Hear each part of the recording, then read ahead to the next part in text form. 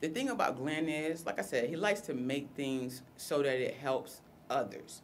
And I remember one situation where we had a little slight problem. Um, once it was settled, it kind of wasn't settled. And he came to me and he said, Look, how can we make this thing right? You know, even sitting at the meeting table, he's the guy who says, Look, if everybody's smiling, it's a good thing. So it's, it, when you think about it, somebody who wants to make it right for you, it's got to be right for you. You know what I mean?